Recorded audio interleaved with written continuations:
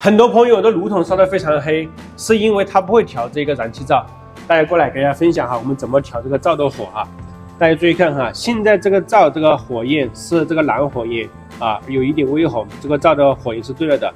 很多朋友哈，它是这个进气阀比较比较大或者比较小啊，我给你看看啊，很多朋友的灶是燃这种红火焰，这种火焰的话就是这个气进气量太小了，然后这个火焰没有完全燃烧。如果这个火我们去烧锅，第一。制热量非常的慢，第二很容易把我们的锅下面烧得黑黑的。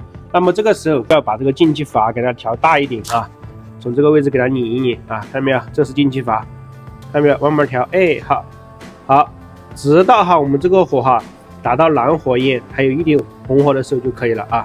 那么很多朋友调大了也不行哈，我给大家看看，调大一点。大家注意看，这就是进气量很大的情况下哈，它这个火哈就一直呼呼的响，看见没？站不住啊。那么我们现在把这个进量调小一点，就是我们要达到我们这个火焰哈，啊不大不小正合适，就这个样子哈，大注意看哈，就是有这个蓝火，然后有一点微微的这一个红火就可以了，然后外面这一圈也是一样的。好，我把里面关掉，外面给大家演示一下啊。